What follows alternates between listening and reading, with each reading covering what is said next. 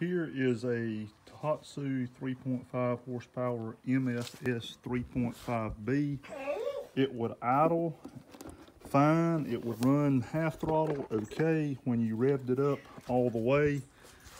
Uh, it would run great about 10 seconds and shut off. Put a new carburetor on it. That did not fix it. Come over here, put a new fuel pump on. That did not fix it.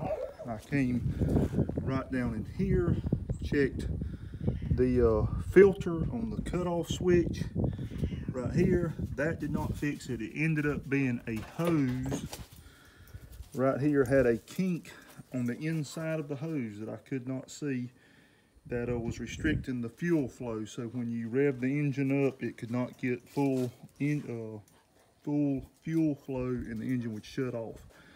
So it was very aggravating. It's fixed and running fine now. I hope this helps somebody else with this problem. My problem was a actual fuel hose that had collapsed on the inside and I could not see it and it was restricting fuel flow. Thanks.